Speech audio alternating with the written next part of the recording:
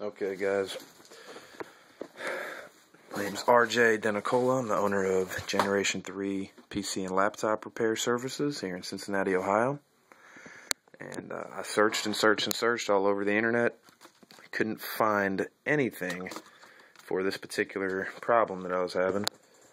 Got a client who had a computer who uh, they forgot their administrator password. It's got the uh, what I'm referring to as the gray screen of death for Dell. Um, it happens not very often, but it does happen, and it is a pain. So I want to kind of go through what I did to fix it. Now, right here we got a Dell Inspiron 6000. It's a little bit older, ran uh, Windows XP.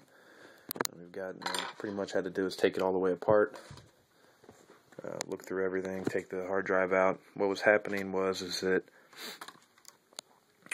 the uh, actual CMOS and BIOS chip uh, had a password authenticator on it.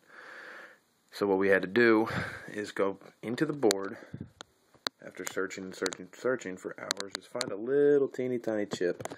Let's see if you guys can even see it. I'll point it out with one of these. see if you're looking at this, this chip right here. Sorry about the video. Try to zoom in.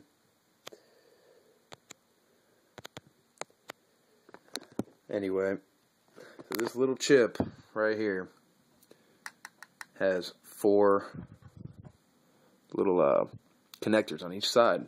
Well, this chip holds all that information. This chip is the manufacturer puts all their service tag information on things like that. So what we would do is we take this little part right here. I'm pointing that. I don't know if you can see it. There's a little teeny tiny part right there. It's the eighth connector. We take our soldering gun. What I did is I unplugged everything and then you solder it down. Um, make sure you get the solder off. And then I bent it up. Now, when you bend it up, you're going to try to turn it on. The computer won't work. That's good. That's a good sign. It means that you disconnected it. What you're going to need to do is, is what I did is I took the screwdriver and you put it underneath where you bent the little pin up. Now, you're going to want to stick it in so that it's in the connector.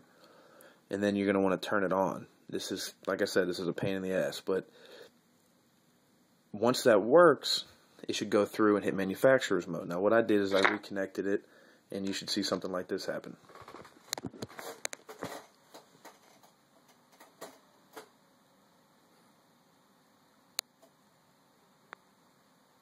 It's loading up.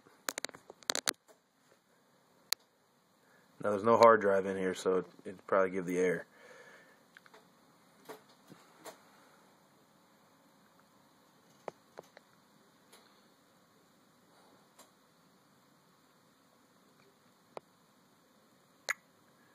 It's giving me the option for a setup or a boot menu.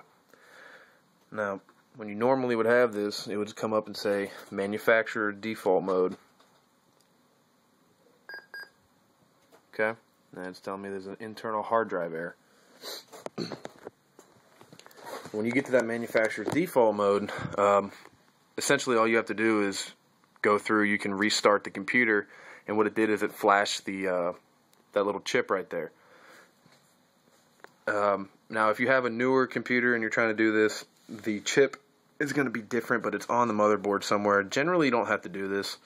Um, you could reset it with a button uh, but if it gets to the point where nothing's working, you're going to have to get a chip. You're going to have to pull the chip up. You're going to have to trick the computer, and you're going to have to put it back down.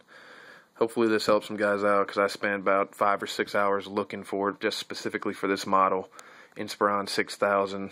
Uh, check us out if you need any help online.